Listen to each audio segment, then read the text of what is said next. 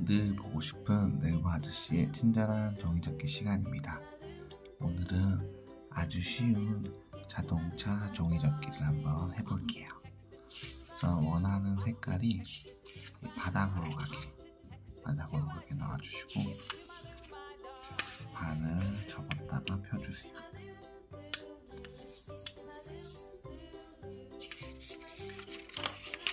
펴주시고 또 반대쪽도 반을 저렇게 펴주세요.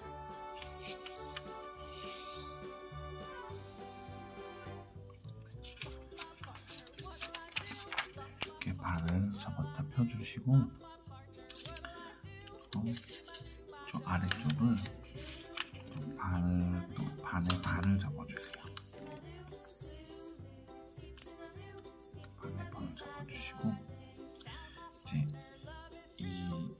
선이 가운데 보조선에 맞게 끝에 선부터 해서 가운데 선까지 맞춰서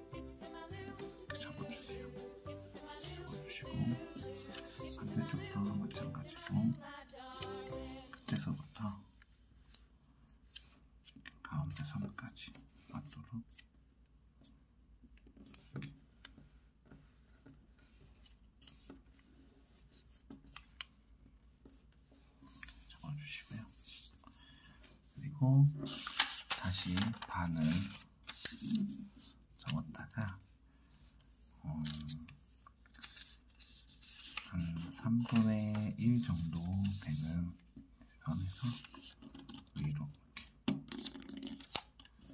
서 접어주세요. 이렇게 접어주시고 좀 한쪽 면을 밑에 선에 맞춰서 이렇게 접어주세요. 그러면 짠 아주 쉬운 자동차가 완성이 됐습니다. 이제 편하게 창문을 해주시면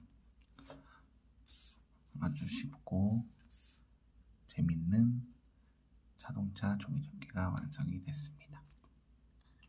다음에는 더 재밌는 제 종이접기로 만나 뵐게요.